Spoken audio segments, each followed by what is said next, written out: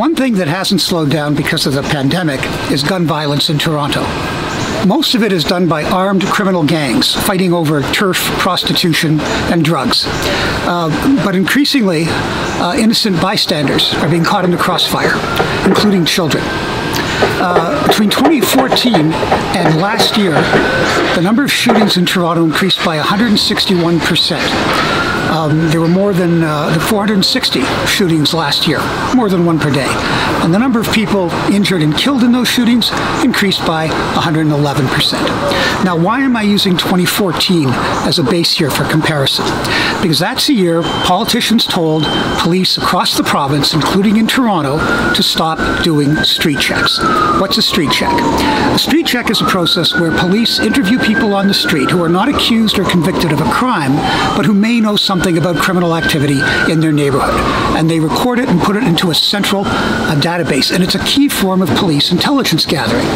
Now, in 2005, the then police chief of Toronto, Bill Blair, who is now uh, Justin Trudeau's public safety minister, introduced enhanced street checks after a very bad year of violence that became known as the Summer of the Gun. And between, it worked. Between 2005 and 2014, the number of uh, shootings in Toronto dropped by 32 52%, and the number of people injured or killed in them dropped by 55%. Then they were stopped, and that we now have today's numbers. Now, why were they stopped? The politicians were concerned that street checks in Toronto were being used indiscriminately, and that the result was that black people were being disproportionately um, targeted. And there was a problem. By that time, they were being done too indiscriminately, but they were never supposed to be abandoned because of their, their fundamental to police work. What was supposed to happen was that the Ontario Ontario Liberal government was supposed to introduce a new regulation that would protect the civil rights of people interviewed by police and enable the police to do their jobs. But the regulation the government introduced was unworkable, and basically, uh, street checks have been uh, scrapped ever since. And now we're reaping the whirlwind. What we really need is to bring back street checks with appropriate safeguards for the public and that enable the police to do their job.